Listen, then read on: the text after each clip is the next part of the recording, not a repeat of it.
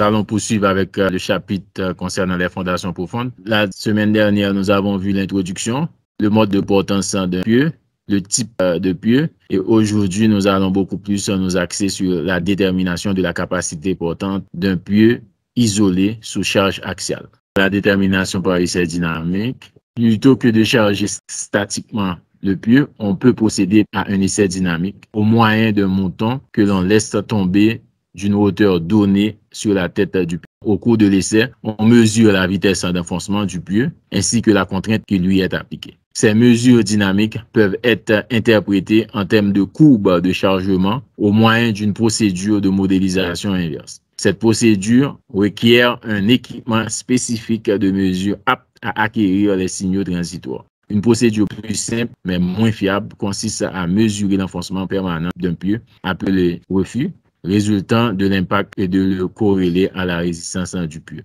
À ce moment-là, on va utiliser les formules de battage et ces formules de battage tentent de réduire l'énergie potentielle en une capacité portante en dynamique. D'une telle formule, on espère obtenir une approximation de la résistance en fonction de l'enfoncement du pieu sous un impact à d'énergie connu. Le principe à la base d'une telle formule est que l'énergie liée à la chute du mouton, diminuée des pertes d'énergie correspondantes, est égale à l'énergie qui est nécessaire pour faire pénétrer le pieu dans un sol d'une résistance en donnée sur une certaine profondeur. On exprime donc que le travail total du mouton, diminué du travail perdu au choc, du travail engrangé par les déformations élastiques et du travail perdu pour d'autres causes est égal au travail net d'enfoncement du puits.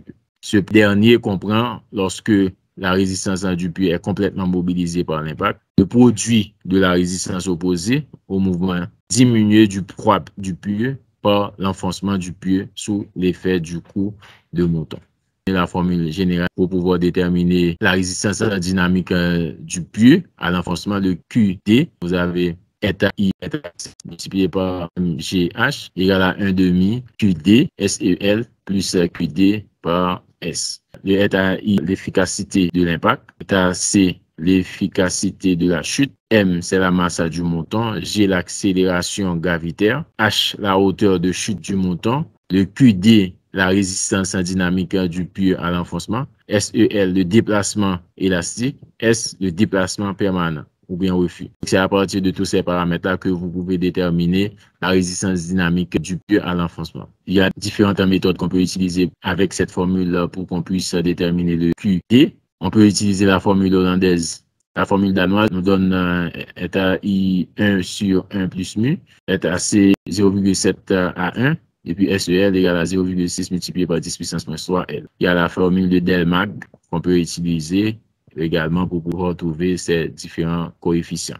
Donc le mu, c'est M sur MP, avec MP, la masse du pieu. Mais le M, vous avez déjà le M, c'est la masse du mouton. E, le coefficient de restitution du casse de battage. L, la longueur du pieu et C1 et C2 constantes de Hailey. Voici les différents paramètres qu'on va utiliser dans cette formule pour qu'on puisse déterminer la résistance dynamique du puits à l'enfoncement. Ce sont des coefficients de la formule générale de bataille pour différentes méthodes. La méthode hollandaise, la méthode danoise, la méthode de Hailey, la méthode de Delmag.